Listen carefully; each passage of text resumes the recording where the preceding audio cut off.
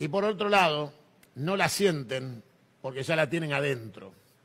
Y no la sienten porque el pueblo argentino ya está de pie y esto ya está terminado.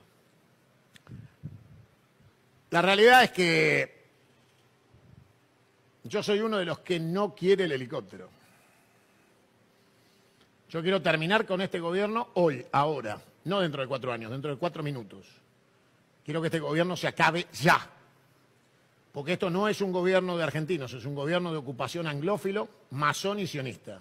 Esto no es un gobierno de la patria. El que me quiera correr con que lo votaron el 55% de los argentinos, que me chupe la chota.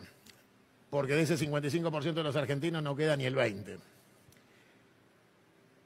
Y aparte, dentro de pocas horas, cuando lleguen las facturas de gas, luz, teléfono, colegio, seguro, obra social, ABL, expensas, va a quedar cero de apoyo social. Estas bestias criminales que te dicen que hay que elegir si comen los abuelos o comen los niños, o sea que plantean como alternativa social que elijas quién se muere,